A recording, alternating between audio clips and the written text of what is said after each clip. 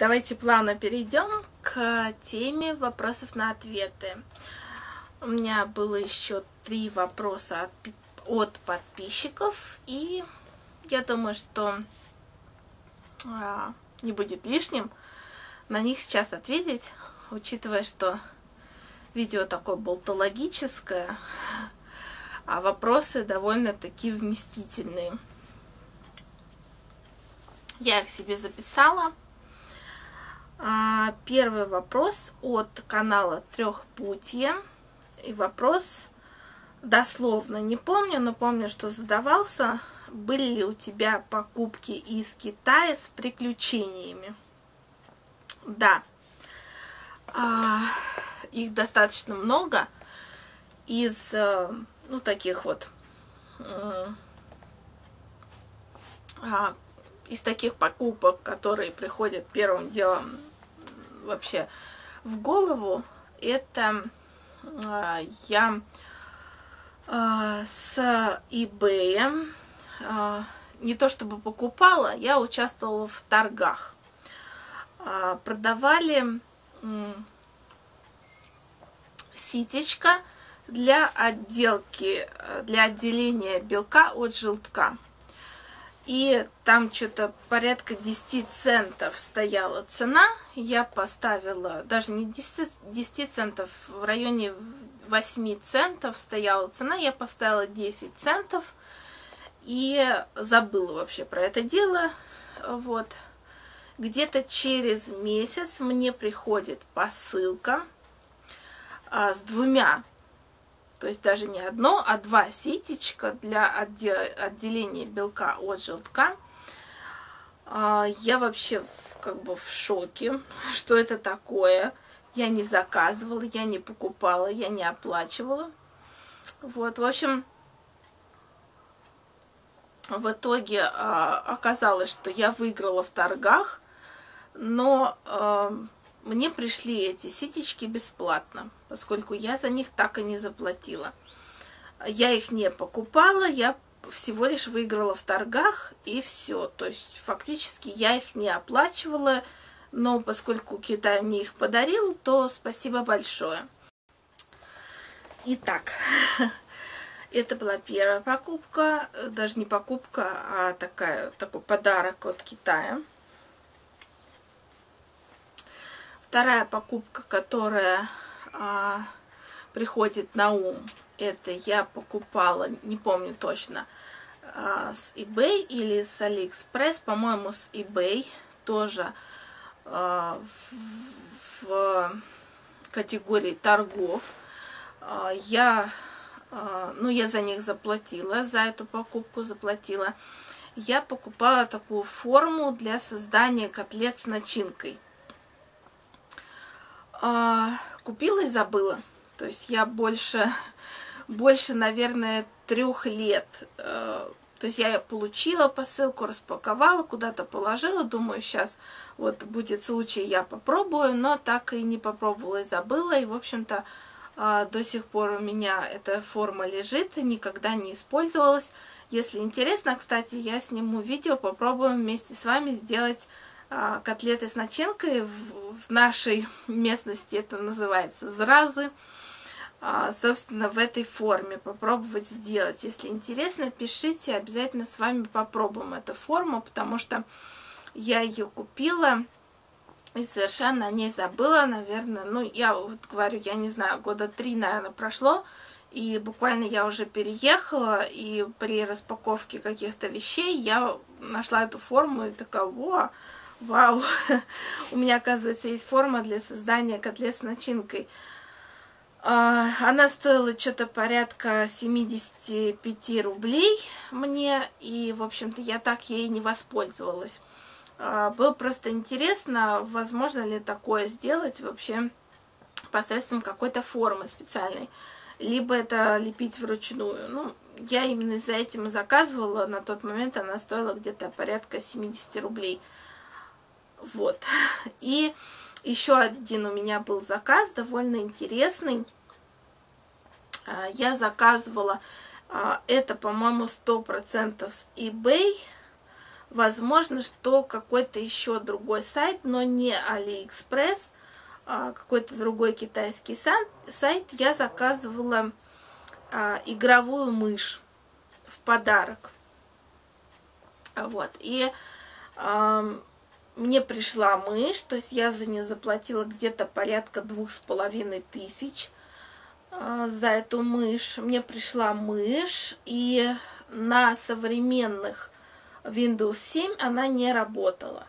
Uh, то есть, uh, ну, конкретно на моем компьютере, где Windows 7 расширенная версия, мышь как бы при подключении к компьютеру, она, компьютер ее видел как некое внешнее устройство, но она не работала при этом. То есть при движении она не отображалась на экране и так далее никаких действий ею невозможно было совершить. То есть она только мигала разными цвет, разным цветом лампочек и отображалась э, курсором на экране, но при этом не двигалась. Вот. И после чего мне вернули полную стоимость за эту мышь. И теперь у меня есть мышь и вернувшиеся ко мне две с половиной тысячи рублей – но мышью я пользоваться не могу, поскольку мой Windows ее не воспринимает э, как внешнее устройство. Вот. Но на самом деле таких покупок довольно много, то есть у меня были покупки, которые не были мною оплачены, но присылались мне посредством того, что я выиграла в каких-то торгах. Э, также были посылки, которые я э, лично заказывала, но они мне чем-то не нравились, э, не функционировали, либо, ну, каким-то другим путем, в общем-то, либо, ну, у меня не было такого, что вот многие пишут, снимают, да, видео, где посылки к ним не приходят в установленный срок, там, 60-70 дней, не приходят, они пишут возврат, им возвращают деньги, после этого приходит посылка. У меня такого никогда не было. Вот. Э, но, в принципе, приключения с посылками были. Но вот такие самые яркие я рассказала. Если интересно еще, какие посылки я получала абсолютно бесплатно, выиграв в торгах, или вот такие вот проблемные посылки, которые мне не нравились, и я просила возврат денег, то пишите, я обязательно расскажу о них. А сейчас перейдем ко второму вопросу. А после съемки видео о вопросах-ответах э, уже по прошествии где-то двух недель стали поступать э, новые вопросы. Что, кстати, мне довольно интересно вообще эта рубрика. Если э, вам вдруг хочется что-то о чем-то меня спросить, то вы спрашиваете под любым видео. Я все вопросы записываю и обязательно буду снимать отдельные видео с ответами. Мне самой это довольно интересно. Поэтому задавайте вопросы. И был вопрос один из э, вот таких вот. Э, Алина Филатова спрашивает. Самое интересное место, где вы отдыхали? А на самом деле, по сути, я вообще нигде не отдыхала. А, но если можно назвать отдыхом э, пленерные занятия, то э, я назову э, город Каргополь. По-моему, его до сих пор нет на карте. Возможно, он появился где-нибудь в Яндексе. Но, э, насколько я знаю, на карте его не печатают. И то место, где мы конкретно э, жили, э, этого места на карте нету. Поселок Няндома он называется мы ездили туда на пленер а, с преподавателем по живописи и скульптуре. А, это был, по-моему, третий или четвертый курс института. В общем, мы ездили туда рисовать, заниматься живописью, рисунком а, и, в принципе, посмотреть на без э, архитектуру русского севера э, созданную без единого гвоздя. А если комары, если представится возможным, если получится у меня при монтаже, я вставлю фотографии а, с теми вот теми видами, теми воспоминаниями, которые я туда привезла. В принципе, это ни с чем не сравнится, потому что даже не столько архитектура, построенная без единого гвоздя, вот просто собранная деревянная архитектура, а, да, деревянные церкви, деревянные дома, собранные без единого гвоздя, вот на самом деле без единого гвоздя, не столько это завораживает, сколько меня именно а, поразило, а, как бы сказать, одиночество, что ли, вот даже не уют, а столько одиночества а, разных поселений в Архангельской области, в городе Каргополе, в области гор города Каргополя, вот в его пригороде. То есть есть э, такие деревни, которые вообще не посещала цивилизация. И мы были, например, на пленере, а, деревня, 20 домов, из них, а, наверное, дома 4 или 5 жилые, причем а, живут, ну, жили, наверное, уже, потому что много лет прошло с тех пор, уже такие в возрасте бабушки, дедушки – которым далеко за 70, за 80, и они единственные населяющие данную деревню. То есть больше никого из жителей нету. При этом какая-то цивилизация, то есть те же магазины, какая-то дорога, это все находится в 20 километрах от этой деревни. То есть по, по факту она находится в чистом поле, в, вокруг лес, и до нее просто пешком надо идти. Мы ехали на автобусе, ну, на таком, на маленьком микроавтобусе, э, просто по непересеченной местности, не проложенной дороги, протоптанной просто ногами. И, ну, я вам скажу, что это впечатляет, когда ты выходишь в чисто поле, в котором стоит деревянная церковь, и в радиусе порядка 15-20 километров больше ничего нет, только чистое поле и лес. Это очень круто, это очень впечатляет. И если кому-то когда-нибудь доведется такое увидеть, то я вам пожелаю такое увидеть, потому что это ни с чем не сравнится, ни с какой за границей. Такие впечатления увидеть, а, такие эмоции испытать, когда ты вот просто на несколько километров в чистом поле ты один, больше никого нету. Это удивительно.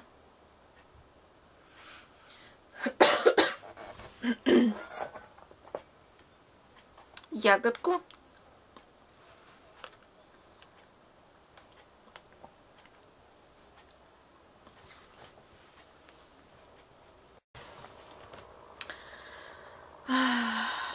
И вот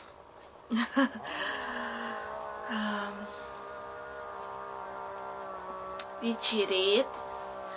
Я вам скажу, что сейчас 7 э, часов у нас.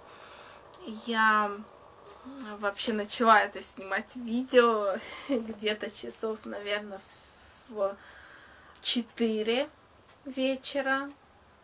Вот, э, ну, 4 пол пятого как-то я вот воодушевилась. И захотелось мне поговорить с вами, поговорить э, о разных вещах, э, поделиться какими-то впечатлениями. Э, не знаю, будет ли интересно. Опять же, наверное, придется это видео поделить на две, а то, может, и на три части, потому что не знаю, сколько оно займет по видео, по времени по количеству времени само видео. Но как-то э, вот эта вот тема, да, вопрос был от Алины Филатовой, где вы отдыхали. Вот этот вопрос, он такой глубокий. То есть по факту я нигде не отдыхала, но рассказать, где я бывала, когда мы ездили на пленер, на пленерной практике, это ну, много интересных мест, которые многие люди, наверное, вообще не знают о существовании этих мест. И поговорить об этих местах, о своих вот именно о моих впечатлениях, если вам интересны мои впечатления – а вот конкретно а, поговорить о моих впечатлениях, о том, что а, вы можете там увидеть. Может быть, сейчас уже и не увидите, потому что с тех пор, как мы ездили, это было 2009 год, а сейчас, как вы понимаете, 2017, это 8 лет прошло, за 8 лет очень многое поменялось. И то, каким я Э, видела тогда этот мир, который мы посетили, да, и какой он сейчас, э, я думаю, что очень много поменялось. И если вам интересны мои впечатления, и если вам интересна такая тематика разговорная, просто вот ненавязчивая, да, не постановочное видео, а вот просто я поставила камеру и решила с вами поболтать. Если вам вот это интересно, и интересно послушать э, то, как, э, как я куда-то ездила, какие впечатления, какие приключения были, а, чем мы там занимались в этой поездке. В принципе, вспомнить достаточно много можно.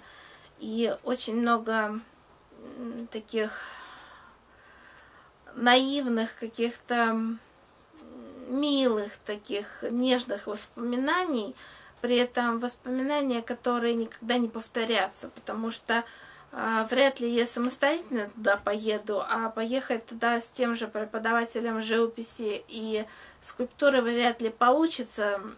Да это в принципе невозможно, потому что, к сожалению, человек погиб в автокатастрофе.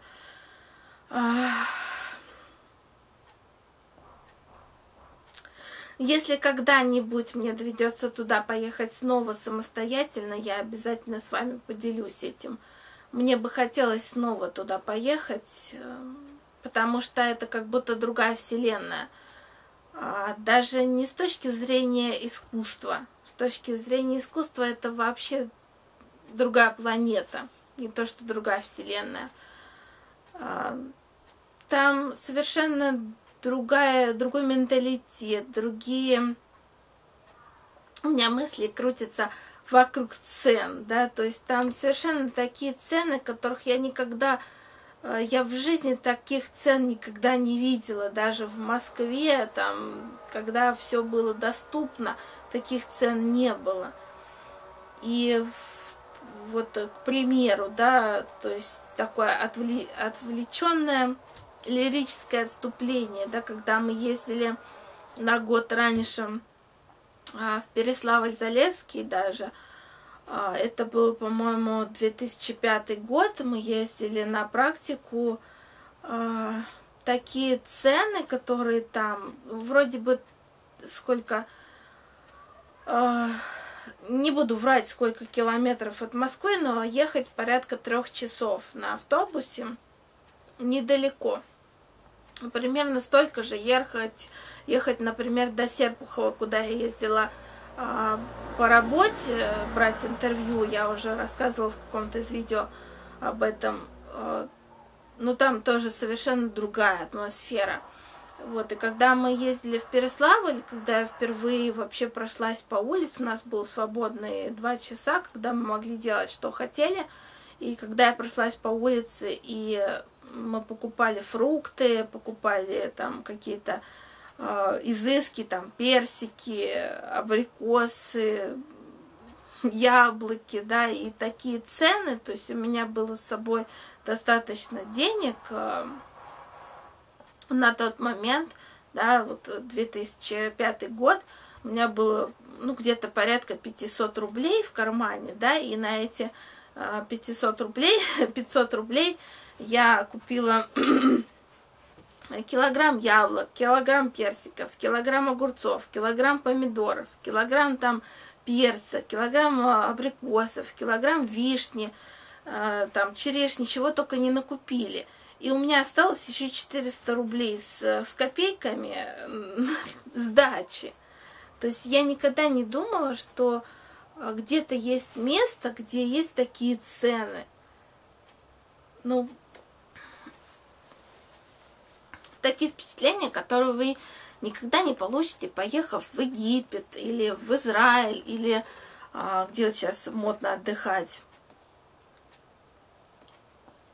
А, в Турции, да, то есть вы, ну, я понимаю, что за граница она чем-то приманивает, но наша Россия, она огромная, просто огромная и объездить всю Россию и увидеть разные, совершенно разные области, где люди отличаются от людей, проживающих в крупных городах, это удивительно. Увидеть ту культуру, ту местность, а, тот менталитет, почувствовать это, прожить в этом, да хотя бы неделю – это такое удивительное чувство, такое удивительное ощущение, которое не испытаешь, съездив в Турцию, никогда. Если вам интересно, то спрашивайте, пишите в комментариях, и обязательно я что-нибудь на этот счет придумаю. А, давайте, наверное, перейдем к последнему вопросу.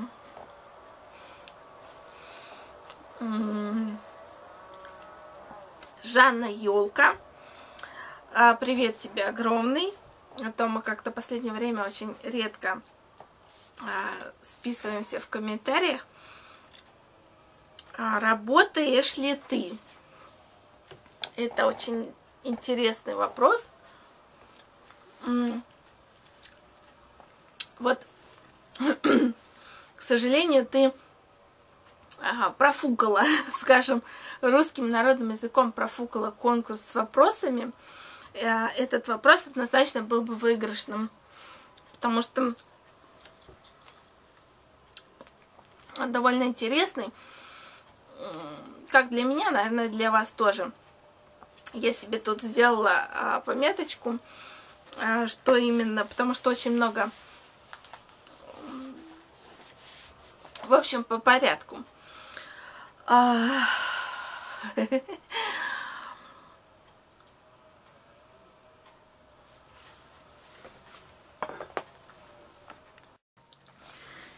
Итак, заключающая тема а, нашего сегодняшнего, наверное, разговора долгосрочного и длительного. Это последний вопрос, который звучал от Жанны Ёлки. Работаешь ли ты? А, и как я уже сказала, если бы он участвовал в конкурсе вопрос-ответ, он был бы выигрышным однозначно, потому что я в принципе не работаю. А, как я уже неоднократно говорила в одном из своих предыдущих видео, которые были а, осенью прошлого года, и конкретно я видео не могу назвать, но я часто об этом говорила, что я не работаю, я хожу на биржу.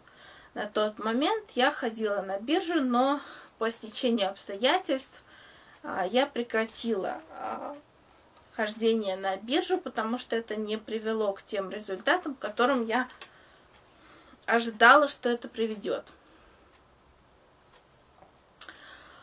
Как вы можете себе представить, или как вы знаете, что такое может быть в теории, да, а, в народе биржа, а, в каких-то, как сказать, в научном названии, я не помню, как это называется, но, в общем, биржа труда, она подыскивает э, человеку работу, и он либо соглашается на эту работу, либо нет. Я состояла на бирже примерно год. За этот период времени а, по нашему району биржа труда мне не подыскала ничего соответствующее моему профилю. Поэтому я а, отказалась от ее услуг. Там было, конечно, много оснований на то, чтобы отказаться, в принципе, от услуг биржи. Но я не буду углубляться сейчас в это. Если вам интересно, я сниму отдельное видео, как работает биржа труда в Москве. Но э, сейчас не буду в это углубляться, поскольку это вообще не имеет отношения к делу. И я себе написала а, такой, набросала списочек, который э, работа, которой я занимаюсь в данный период времени, которая доставляет мне некий заработок, да, который я трачу либо на оплату того же интернета, чтобы снимать видео, выкладывать его и общаться с вами, а, либо на какой-то минимум да, заработка, который приносит мне некое удовольствие, от которого мне, в принципе, достаточно. Вот. И, значит, что входит в этот минимум заработка, вот так, в общих чертах, да. Э, первое – это ремонт одежды на дому. То есть, соответственно, кто, может быть, не знал, кто, может быть, слышал, я упоминала об этом несколько раз, и, может быть, кто-то заинтересован в данной информации, кто тоже э, в Москве или в Подмосковье, обращайтесь, нет проблем. А, я занимаюсь ремонтом одежды на дому, а, то есть это ремонт а, совершенно любой сложности. Это и укорачивание брюк, юбок, подгибка, ремонт, замена молний, например, каких-то застежек. Это также подгонка по фигуре. Это также перекрой одежды либо каких-то костюмов, платьев, которые, допустим, вы похудели, да, и изменилась фигура, и вы хотите любимое платье перекроить по своей нынешней фигуре. А также, например, если вы имеете какой-то костюм из, скажем, 80-х, да, и хотите его перекроить по современному стилю. Также обращайтесь, я совершенно а, нет проблем, это все сделаю. Мы с вами все это согласуем. Выезд, соответственно, бесплатно.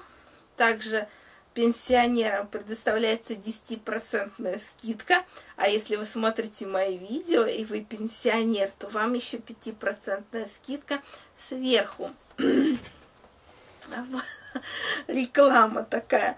А, второе, чем я подрабатываю, да, то есть э, помимо того, что я занимаюсь ремонтом одежды на дому, также я а, провожу пленерные занятия с детьми а, от 8 до 15 лет.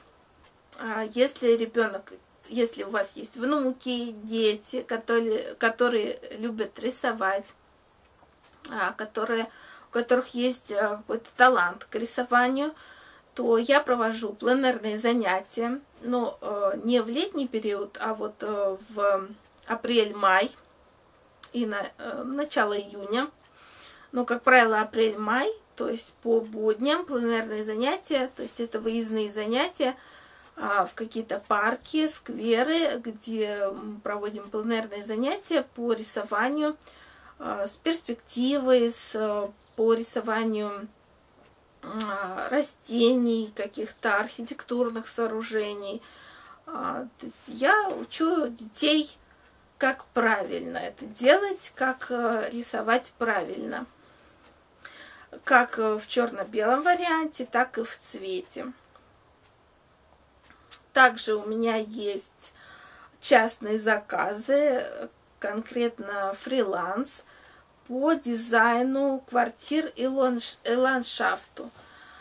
А, то есть, а, ну, пошло это все, естественно, по дачной стихии, то есть а, люди, ну, вот соседи, какие-то друзья э, знают, что я дизайнер и обращаются с вопросом там распланировать участок или, например, пристроить к дому веранду и как-то спланировать, как э, будет выход, например, из, из основного, из основной части дома на эту веранду, как ее спланировать так, чтобы она не казалась отдельным помещением, а была единым комплексом со всем домом. Вот, все это, соответственно, я делаю. Также пишу статьи в журналы по дизайну. А, как вы знаете, я уже один раз снимала видео, где хвасталась статьей по а, дизайну дорожек. И вот также я пишу в другие журналы статьи, какие-то маленькие статьи по тому, как правильно сделать дорожку, как правильно сделать водоем, как правильно распланировать, ну как не то, что правильно распланировать, а как грамотно распланировать участок э, самостоятельно, без э, привлечения профессионального дизайнера, да, на которое требуются дополнительные средства, да. А поскольку этих средств может не быть у человека, да, как, как вот самостоятельно распланировать э, ту или иную вещь, э, чтобы сэкономить. Э, соответственно, пишу такие статьи. А следующая часть э, моего заработка – это творчество. Собственно, вы знаете, что я занимаюсь полимерной глиной. Также я делаю украшения из других видов искусства, то есть это э, пирография, пирография по коже в частности. Также это wire wrap, что называется плетение из проволоки и все, что с этим связано. То есть э, украшения какие-то, колье, сережки, кольца, э, в том числе с проволокой, в том числе с кожей, э, и также с полимерной глиной. И вот недавно я увлеклась эпоксидной смолой. Также делаю украшения с эпоксидной смолой, и иногда эти украшения продаются. Часто, ну, последнее время не так часто, но раньше довольно-таки часто я участвовала в каких-то ярмарках а, по рукоделию и продавала свои изделия, соответственно. И также индивидуальные заказы по пошиву сценических костюмов. А, по работе в театре у меня есть знакомство, есть а, друзья, которые выступают, и они в частном порядке заказывают у меня костюмы индивидуально по своим размерам, по своим каким-то индивидуальным запросам, которые я никогда нигде не повторяю, потому что это лично вот вещь э, артиста. Вот. Но какие-то индивидуальные заказы, в общем.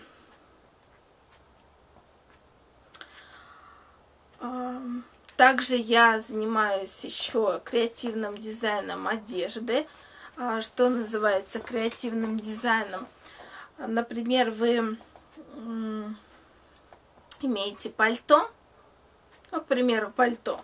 Пальто просто обожаете. Классическое пальто, а, полуприталенное, с поясом, например. Но э, так случилось, что вы где-то куда-то прислонились, куда-то присели, и пальто испорчено. И вы не знаете, как бы, что делать. То есть, например, вы вроде как выбросить жалко, потому что пальто любимое, но в то же время вы хотите в нем дальше ходить, но не знаете как. Обращайтесь, мы вместе с вами его исправим, и вы будете ходить в нем еще много-много лет.